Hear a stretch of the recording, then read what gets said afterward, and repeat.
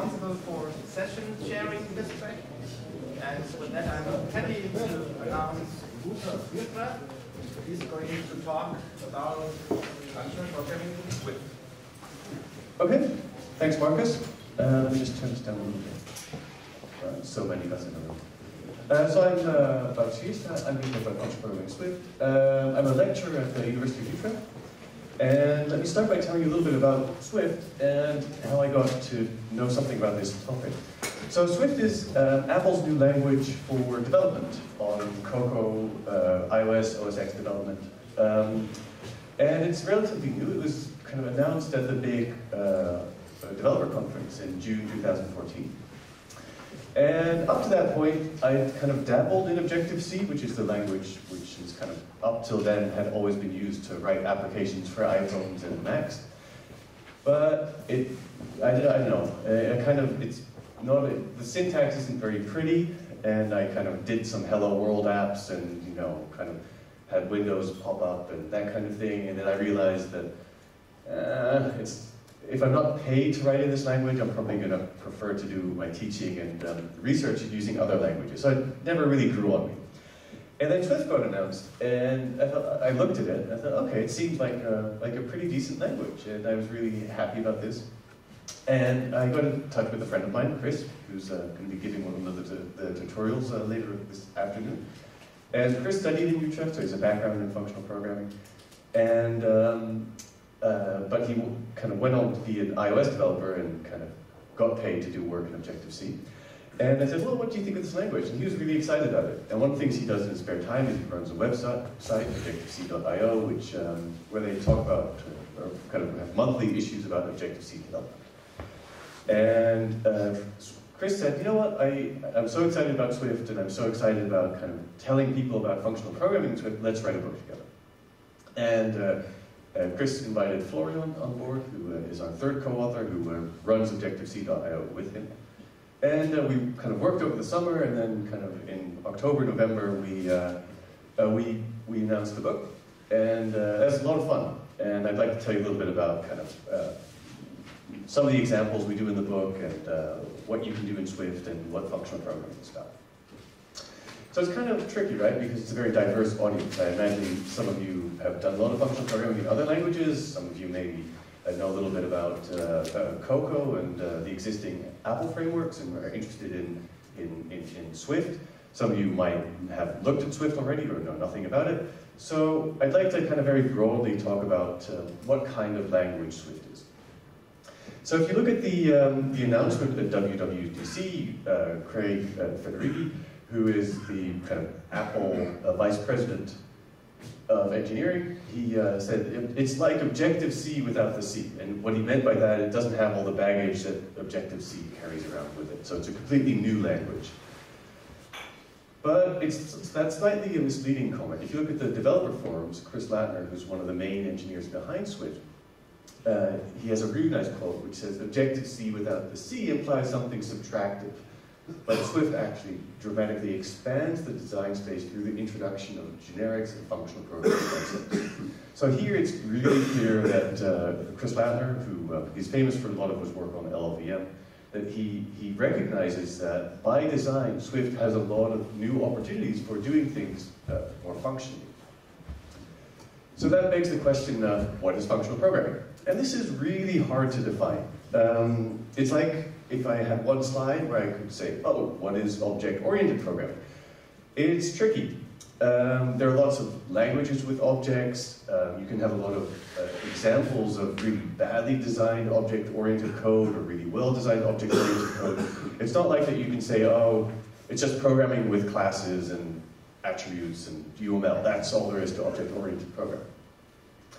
In the same way, a lot of people, when they think about functional programming, they think about functions like map and filter. So here's our kind of first little snippet of Swift code, um, where you see you have some array which has the numbers 1, 2, 3 in it, and then I'm going to call the function on that array map, and the argument I pass to map is a function.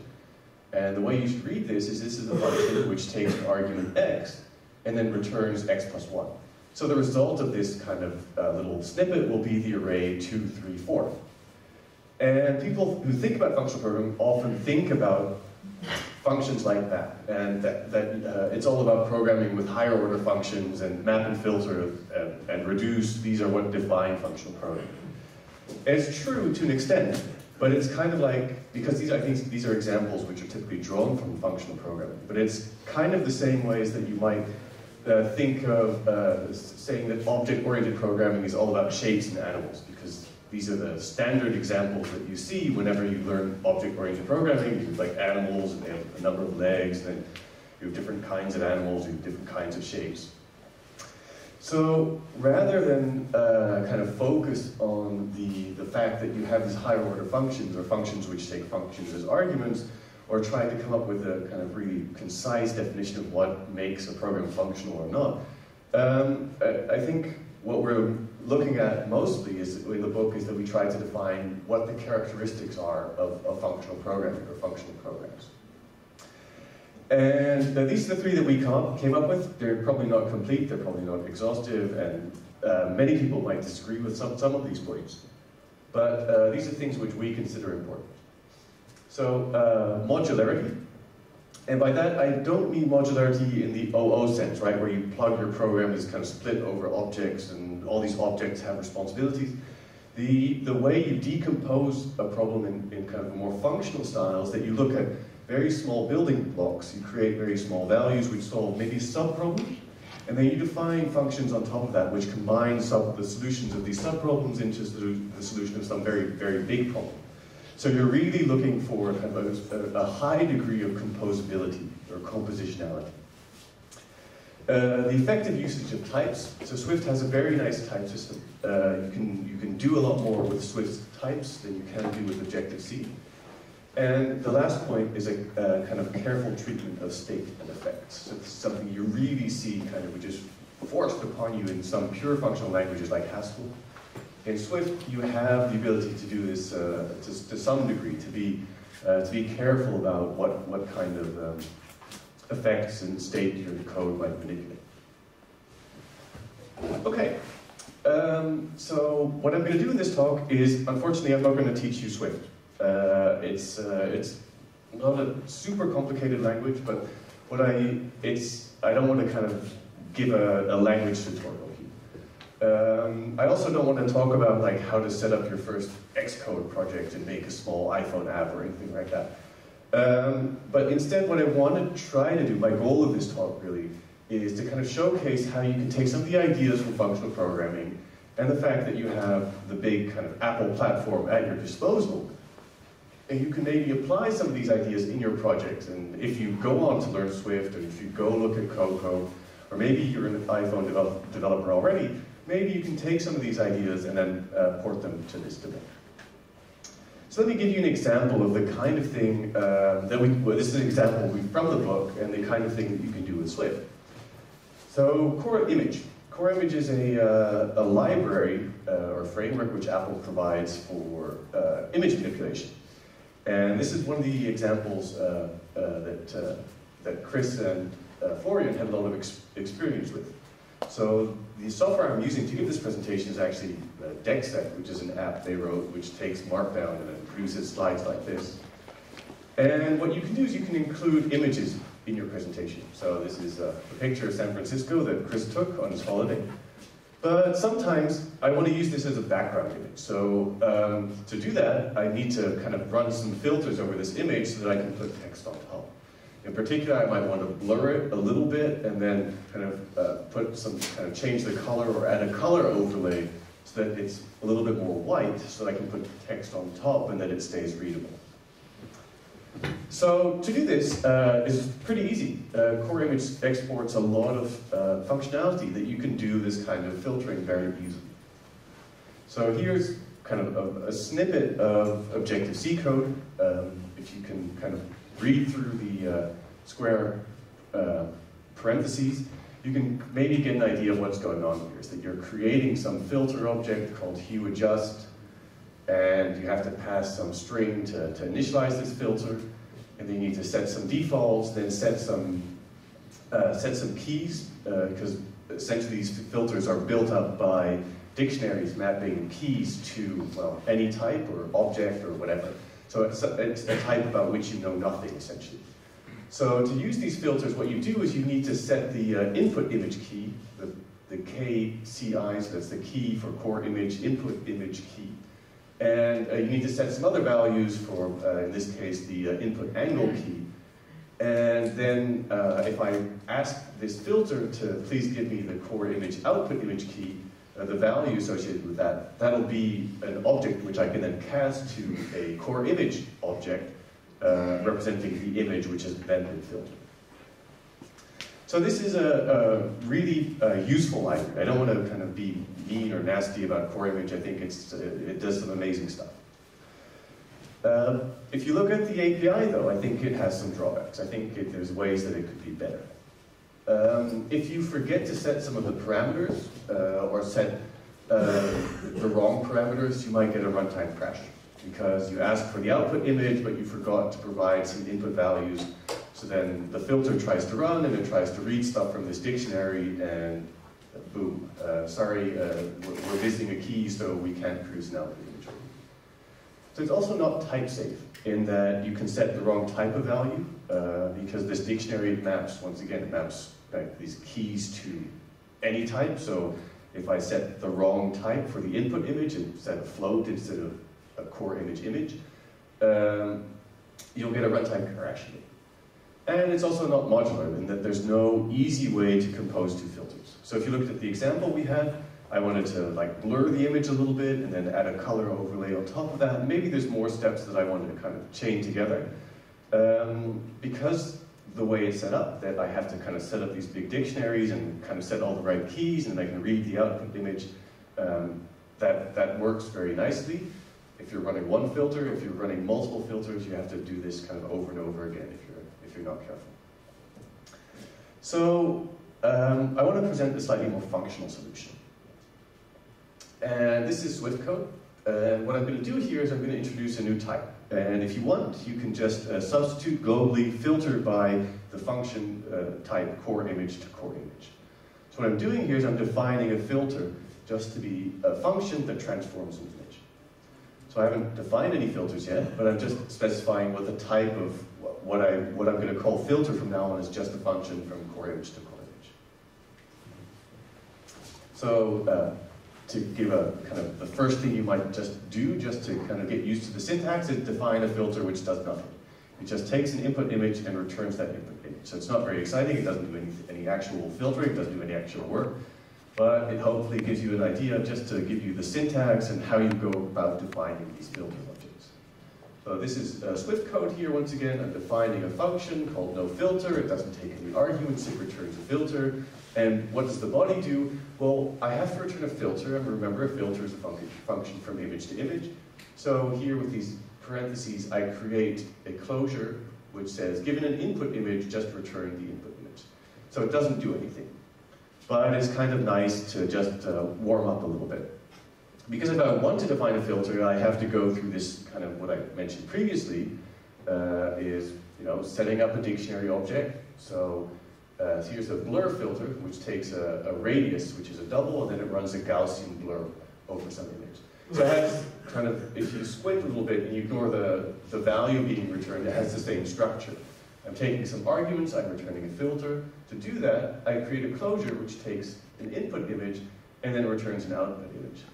The only difference is now I'm going to kind of create one of these dynamically typed uh, kind of dictionary things and set, set the input image to the image I receive. Then uh, kind of I'm going to uh, create this filter with some bunch of parameters and a name and then I'm going to read at the output image, which is then the blurred image, and then I'm going to return that. So, um, so far we haven't done much, right? We've just basically kind of wrapped uh, our own little blur function around the existing blur functionality that you already have in Core Image. So if I want to actually run this image, what do I do is I need to get my hands on a Core Image uh, image, CI image here, which I can do by just, you know, reading the contents of a URL.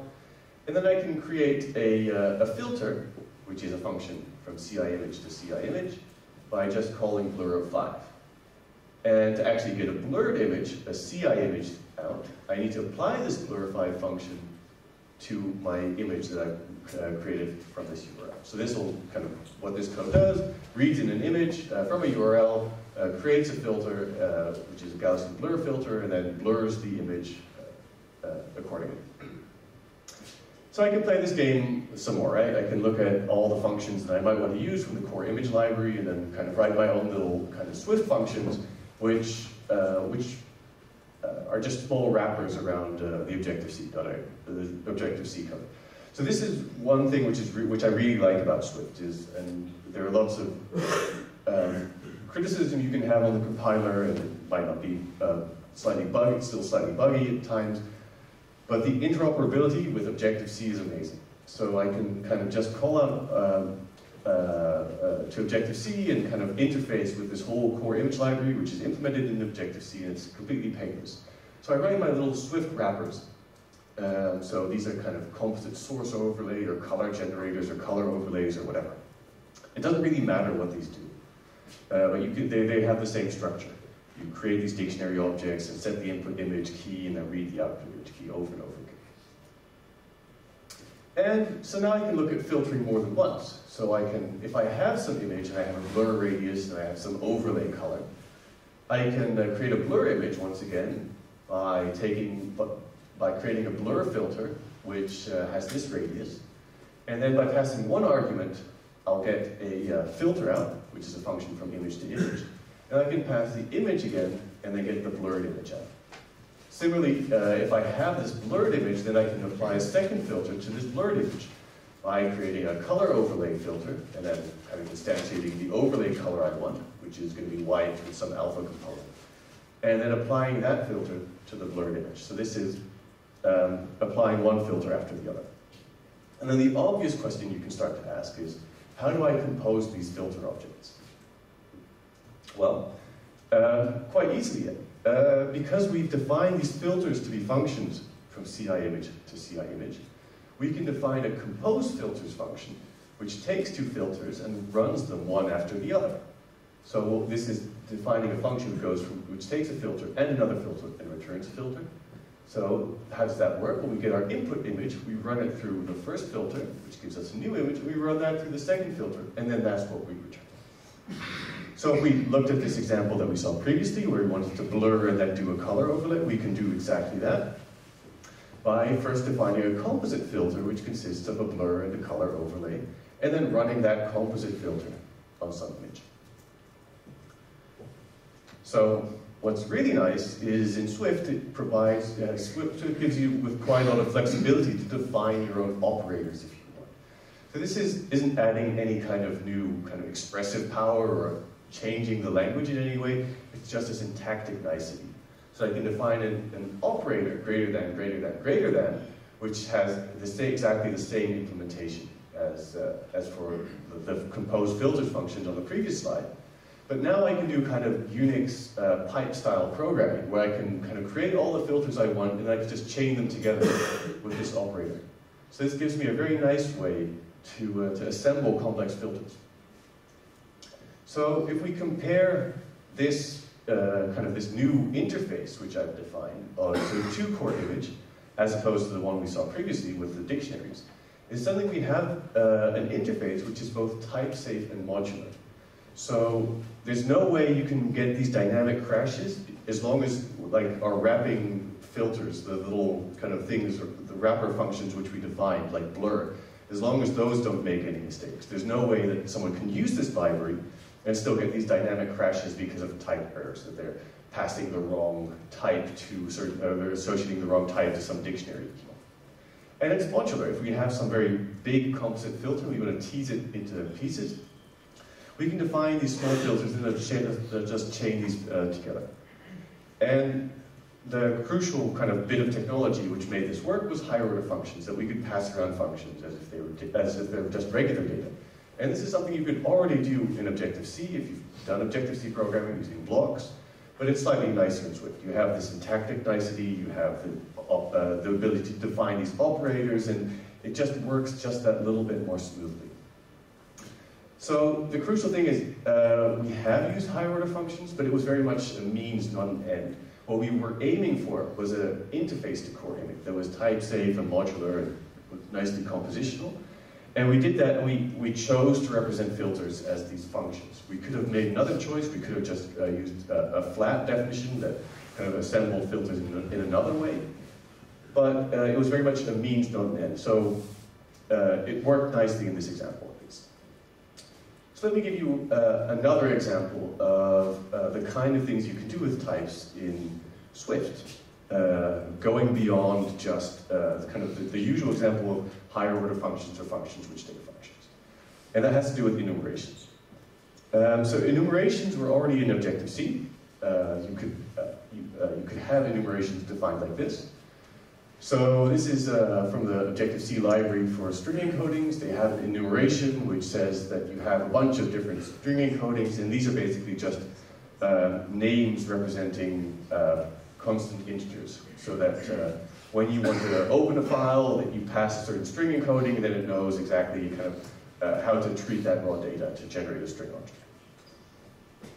Um, the drawback is that it really is just a very thin wrapper around the underlying integer. So you can do things like this. You can add two string encodings together, that'll give you a new int, and then you can check if that's equal to some other string encoding, which is just an int. So it's um, clearly this kind of thing doesn't make sense. You don't, you want to warn people against doing this kind of thing. It's a bad idea. So Swift also has enumerations, but they've introduced new types. They really changed, um, uh, these new types are completely separate from the underlying integers. So um, in addition, so we can't have the mistake of adding two string encodings or anything like that. In addition to that, um, uh, these Enumerations might have associated values. I'll give you, give you an example of that in a few slides. And they can be decomposed through pattern matching. So, um, as an example, uh, suppose I want to read a file. If I um, look at kind of the Objective-C Cocoa documentation, I can see that there's an initializer to the uh, NSString class, uh, which will, uh, which requires a few arguments, and then it'll give me a, a string. And I need to provide the file path, okay, that's fine. I need to provide the encoding, sure, I can just look at the documentation, figure out what, uh, what I need to do there. And then I need to provide an NS error star star thing. And these are, this is the usual way of kind of error handling in C. Whenever I see this, this is not something I do every day. I mean, I need the kind of go to Stack Overflow and then I have to look up what, if I want to check for errors, do I have to check whether the error thing is nil or do I have to check whether the return value is kind of non-nil or whatever, right? And it, it's not, it's not hard, right? It's not rocket science and if you've done it 10 times, you'll never forget the, the right order of these checks again. But it's, it's slightly, if you think about it, it's slightly weird that as a caller you have to kind of set up the memory for the error message in case that happens, and it's the whole way that the errors are handled kind of expose the fact that we're just kind of manipulating pointers at a very low level. We'd like something um, uh, where the types are at least more meaningful. So we can write a small wrapper around this function in Swift, where we require a string and some string encoding, and then what we'll return is not a string, but a string question mark. So that's to say, it's a string which could be nil. Uh, so what's very nice in Swift is that they track uh, null pointers or nil values in Objective-C uh, in the types. So that uh, when you call this function, you know something might go wrong. And if something does go wrong, uh, you'll get a nil value out. And if you call this function, you have to check whether something went wrong before you can manipulate the underlying string. So this is a, a, much nicer interface, right? Because I don't have to, uh, as a user, I'm relieved from having to set up this, this kind of, pass this pointer for the error message and so forth.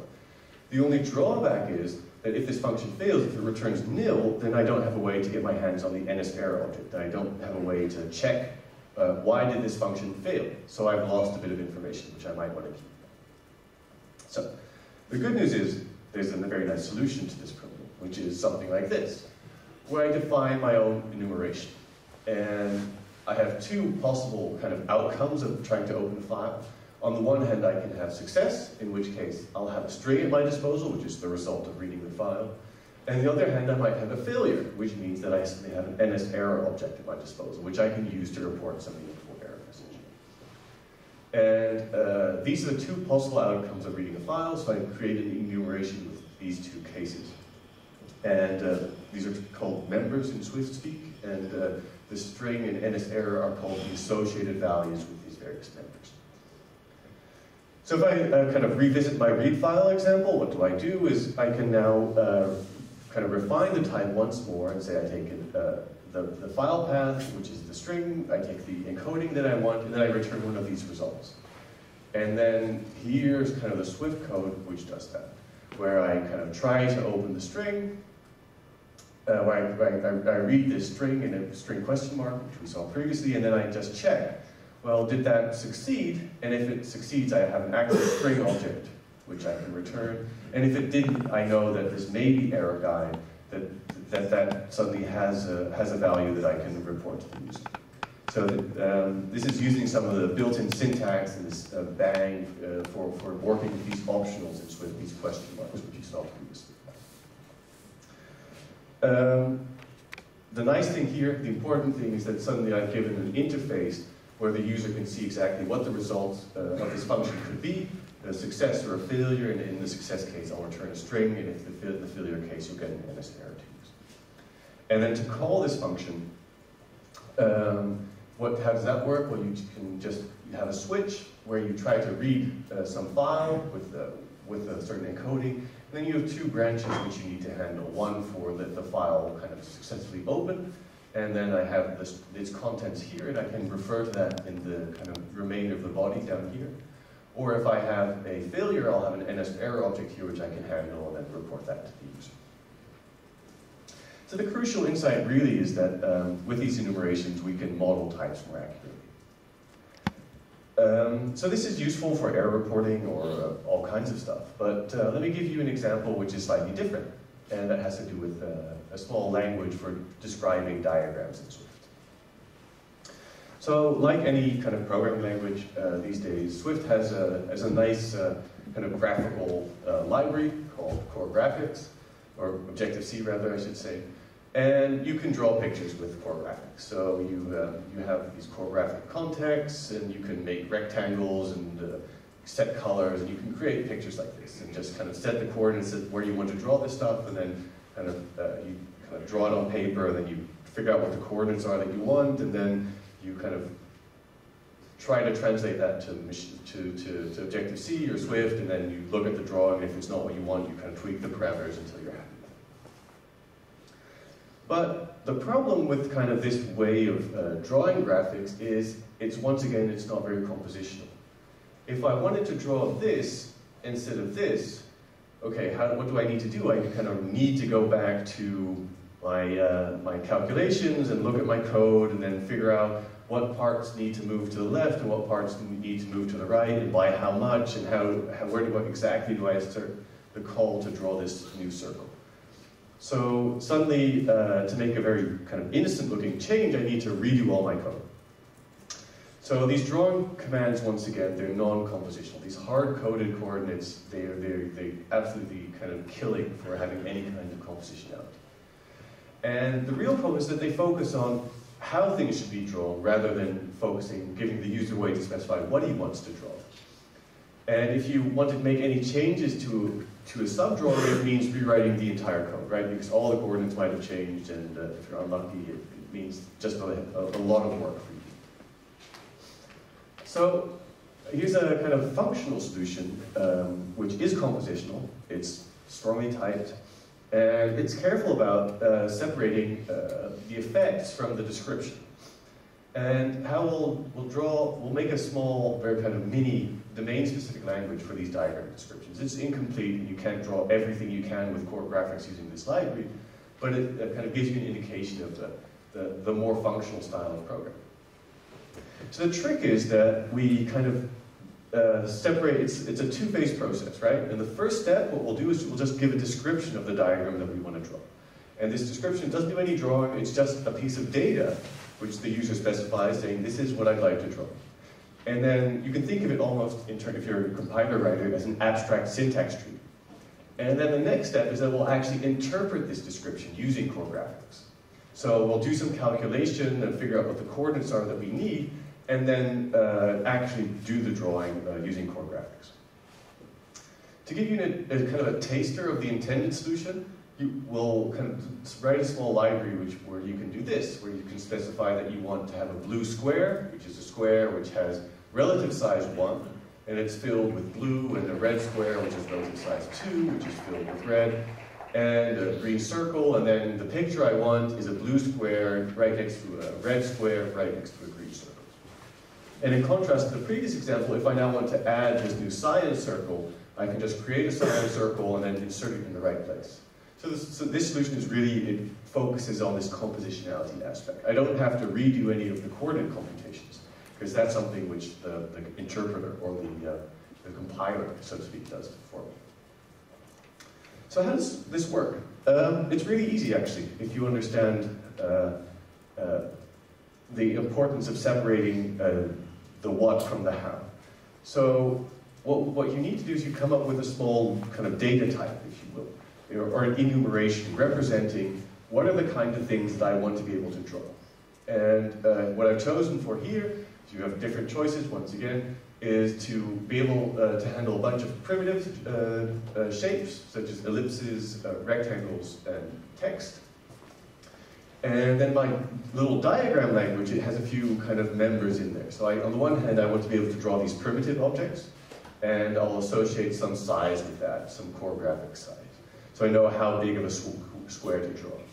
And then there are a bunch of uh, other members in there for composing larger diagrams. So beside takes one diagram, another diagram, and kind of sticks them next to one another. Or below takes one diagram, another diagram, and then sticks those on top of one another. Uh, attributed, I haven't defined the attribute enumeration, but I'll, I'll, I'll, put that in there for adding things like colors. Um, and you can, uh, I think I'll only talk about colors now, but you, if you want kind of shading or any kind of more fancy stuff in there, you can include, uh, include that uh, right there. And then finally, there's alignment, um, which, well, which takes a 2D vector, kind of specifying two numbers between 0 and 1, uh, representing kind of 0 being all the way to the left and 1 being all the way to the right, and, or all the way to the top, or all the way to the bottom. So that specifies how to align a certain shape in the given room available. Oh, I should maybe say that what I've done here is I've defined a recursive enumeration. I've defined a diagram enumeration, which, if you look at the beside and the below members, have diagrams contained in them. So this uh, currently needs a workaround in the Swift um, so what can we do with these diagrams? Is, uh, well, one thing we could do is, for example, compute the size that they need. And to do that is uh, we'll write a little uh, extension, or you can think of this as a function which takes a diagram as input and then returns uh, the associated size. So uh, what we do is we uh, write a switch statement to check kind of what branch are we in. And um, for all the different kind of members that we defined previously, you have to think about how big is this thing. So if we have a primitive thing, we have a size object right there, and we can just return that. If we have some attributes on top of a diagram X, well, these attributes like color and filling and shading and so forth, they don't change the size, so we can just call this uh, recursively the size of the underlying diagram. If we have two diagrams next to one another, we can compute the size of the left thing and the size of the right thing. And the width of the composite diagram is the sum of the widths, and the height of the uh, composite diagram is the max of the heights. So you do a few little computations like this, right? Um, I'm still not drawing diagrams, I'm just kind of showing how you can do calculations over these diagram descriptions. And then to actually draw these diagrams, I need to pass in some, uh, define a new function which I kind of provide the core graphics context and the bounds, which is the available space, and the diagram description, and then I'll just do uh, the actual core graphics call in order to make sure that this diagram gets visualized. So once again, the structure is uh, quite uh, kind of very much the same. You have a switch statement, and then you just go through all the different uh, alternatives that you have in your diagram description, and then you figure out what it is, what you want to do to draw this diagram. So in the case for a primitive uh, shape, uh, such as an ellipse, here, what we do is we basically just call the context fill ellipse in rect fun function from core graphics uh, with the core graphics context that we passed as an argument. And then we need to do a little bit of um, work here to figure out what uh, the alignment is that we want and how much size we uh, um, the size that we have that we'd like to take and the bounds describing the bounds of the box that we have available. So uh, I'm not defining the fit function here, but it's, it's not magic or anything, it's just a little bit of calculation to figure out how do I fit uh, this shape in the available size. More interestingly, if I have these composite diagrams, like one diagram next to another, I can uh, uh, take the space I have available, figure out uh, how to divide that into their uh, kind of according to the relative sizes that I have. So that splits the available bounds into, uh, into two pieces. I have a left frame and a right frame, and I make two recursive calls just to draw the left diagram or the right diagram. So, I mean, I'm not defining the entire draw function, but you, by now you should kind of get a flavor of what you're doing to, to define this. And then once you have this in place, on top of this, you can build your own little library for, for diagram descriptions. So I have a, a, a, rectangle function maybe, but if I want to provide squares where I don't want to specify the, the, the, the width and the height need to be the same, I can define a square function which returns a diagram but takes a single argument and then just under the hood builds a rectangle. I can once again, I can define these operators like three vertical bars or three dashes for composing diagrams next to each other or on top of one another. Uh, Swift has this extension mechanism so that I can, uh, if I want to add fill colors or alignment to the top or whatever, uh, that I can write, have this notation here where I create a square of size 2 and then fill it with this color. So uh, this is basically, it's just wrapping an additional attribute or an additional alignment member around the existing diagram. So now I have everything in place to do this kind of, uh, kind of example that we saw previously. And I can even take this further and start to think about composing uh, arrays of diagrams, right? So if I have an array of diagrams and I want to uh, uh kind, of, uh, kind of take this array and then kind of have them all next to one another, I can do that quite easily by doing things like uh, defining functions like hcat, which uh, reduce or just uh, iterate over this array, starting with an empty diagram and then all the, and kind of chain together all the diagrams in the array using my little three bars operator. So it might seem like it's very much a toy library, but um, here's a kind of more realistic example where uh, suppose I have a dictionary which maps strings to ints. In this case, I have uh, cities with their names mapped to their population in millions. I want to draw a little bar graph. And uh, I might want to visualize that like this. So I have Berlin down here, New York, Istanbul, and so forth. Um, so to do this, uh, using this diagram example, is pretty easy. I just take my, uh, my input, which is a, a, a list of uh, strings and doubles, and I do some calculation to figure out what, what bars I want and what labels I want. To kind of assemble the labels, I take this horizontal concatenation uh, all the strings in my input for which I just create a text and uh, kind of align them to the top. For, uh, to create the bars, I need to normalize the input a little bit, so to kind of take the max, compute the maximum population and then maybe divide all the floats that I have by that maximum population. And then once again, I take the horizontal composition of a bunch of rectangles which are black and aligned to the ball. And kind of in kind of one slide and 10 lines of code, I have everything you need draw diagrams like this. This is kind of cool, right? I think this is a really nice application of, of this technology. So let's step back one more time. So what we've seen in our diagrams library yeah, is uh, we have a small compositional uh, language for, de for defining these diagrams. And it's easy to extend. If you have, if you're in a certain domain and you want to draw certain kinds of diagrams, you can build your own little functions and combinators on top of it. And the key reason why it works is that we have this separation between the what and the so we had a little language for describing kind of what kind of diagrams we want to draw, and then we had our functions which assigned some kind of semantics, which computed the actual drawing of the diagrams uh, from their descriptions.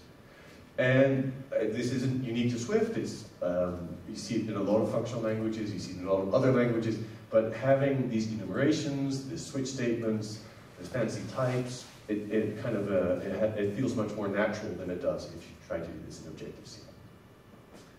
So lots of things in Swift I haven't talked about. Things like uh, generics and protocols and the fancy types, you have sequences and generators. Uh, you, if you want to test functional code, we have a small port of QuickCheck, uh, which is a great testing library for random testing of, uh, of, of, code, um, inspired by the Haskell library, which we, uh, which we ported. So um, you could think about uh, parser combinators, type level programming, all kinds of fancy stuff that you can do in Swift, which I haven't had an opportunity to talk about.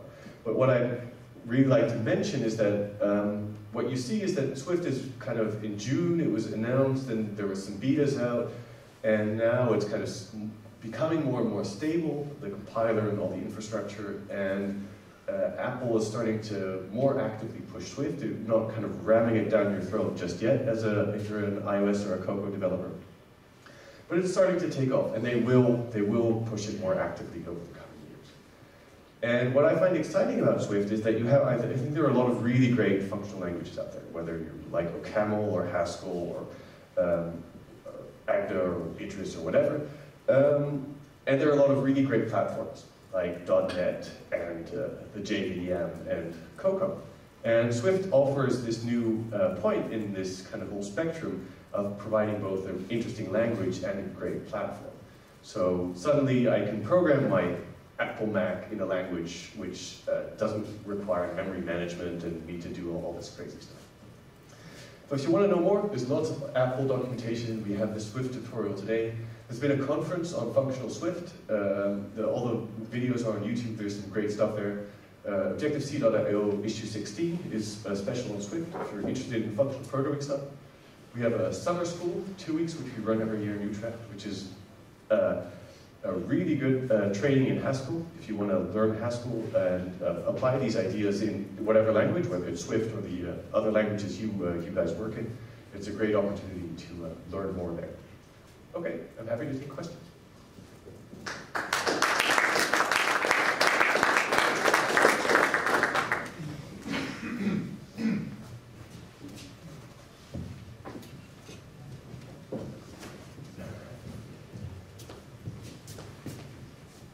Um, so uh, when you um, say that Apple is actively pushing um, Swift, mm-hmm. do you expect to uh, ship libraries such as uh, image with a nice functional Swift API soon? Um, it's hard to say. I think it's a process of many years. I think what we'll see is, uh, I mean, I'm not an expert Apple watcher, and uh, Chris and Florian, they have a lot more experience of kind of monitoring Apple's kind of uh, politics about this. I expect what we'll see is um, new APIs like WatchKit for the Apple Watch, for example, they're still very much Objective-C, and they realize that Swift is still not mature enough. Um, what will happen in the next years is that they'll kind of actively push Swift, and Objective-C will become more and more deprecated. And as a result, um, one of the things they've done already is provide Swift wrappers around a lot of uh, Objective-C libraries and frameworks. These tend to be very much a port of the, um, just kind of providing exactly the same interface, but Swiftified, uh, using optionals and be careful about which values can be nil, that kind of thing. Maybe once they have, kind of their, their priority is at the moment getting the language, the infrastructure, the platform stable. And from there, I expect them to grow and do, um, to get rid of, for example, the, the, the, the kind of Objective-C uh, pattern where you have these very untyped dictionaries, very dynamic, right? And push more to something which is safer and uh, provides more static guarantees. I think that's what their, their goal was with Swift has been, and that's what they're aiming for, but it'll take, it'll take them a while to get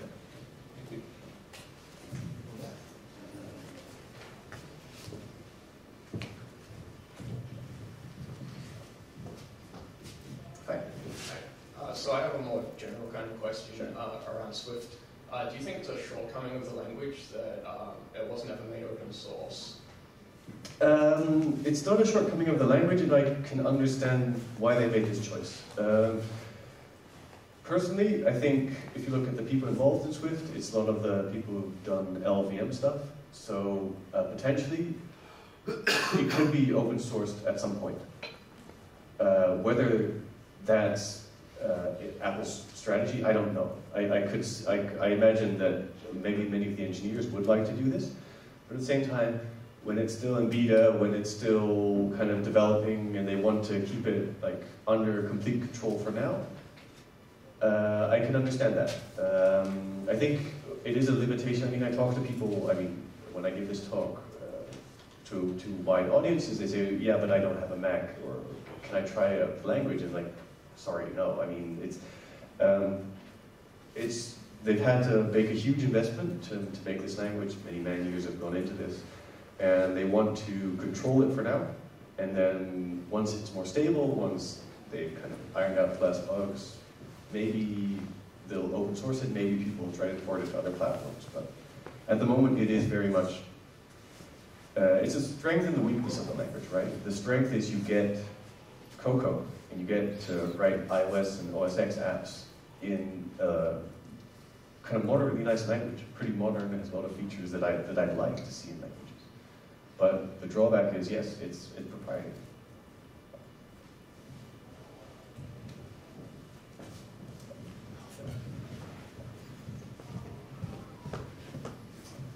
What's uh, your experience regarding performance?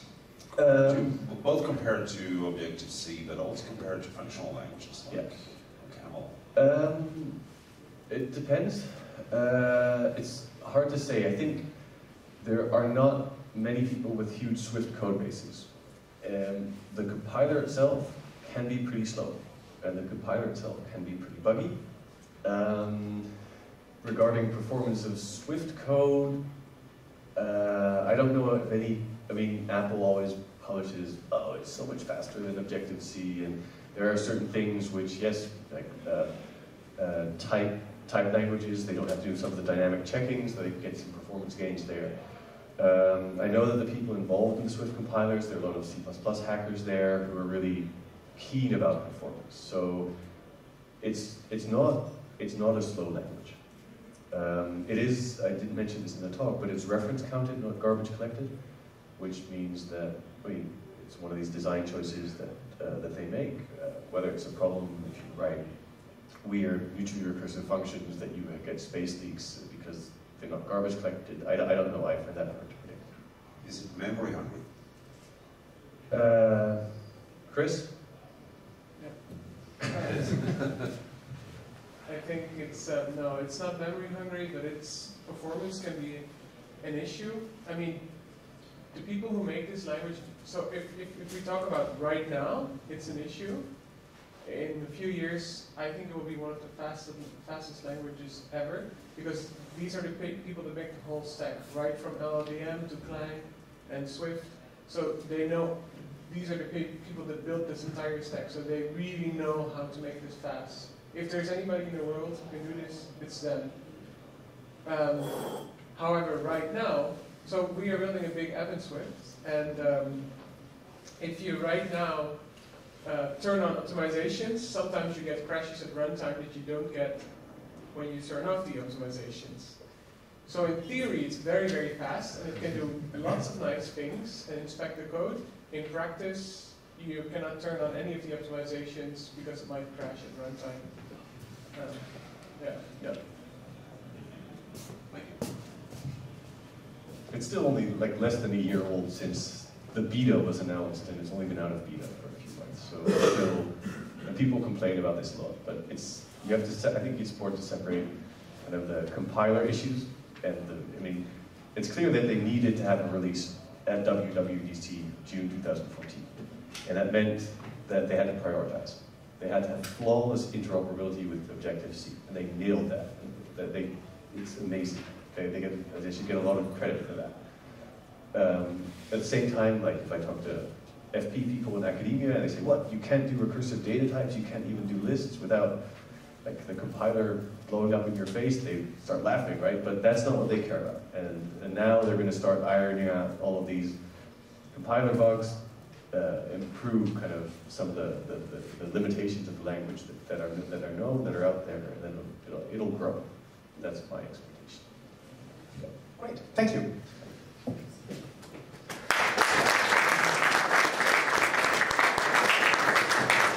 We have a break now. The next talks here in the talkback start at 11.30.